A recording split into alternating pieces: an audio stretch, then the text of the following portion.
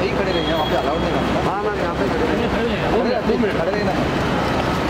थोड़ा जाएगा रास्ता में हाँ देखो अलाउड है ना भाई भाई Ganesh Ganesh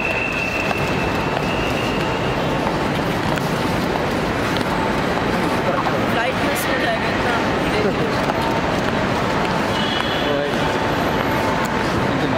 thank you ma'am बारी बार रुकिए